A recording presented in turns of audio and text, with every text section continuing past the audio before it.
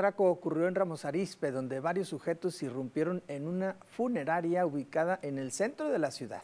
Los responsables obviamente lograron escapar con un botín de 10 mil pesos. Los recursos serían destinados al pago de la nómina de la funeraria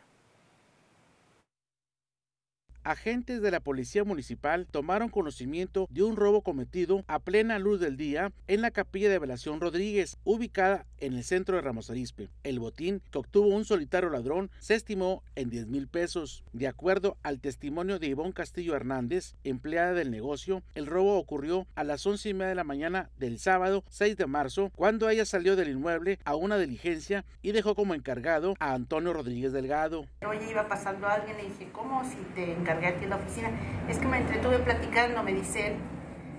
Me dice, pero traes tu, generalmente siempre dejo mi teléfono, pero traes tu teléfono, le digo, sí, tu monedero también. En el momento jamás pensé en el, en el dinero, el dinero lo puse adentro de, del baño.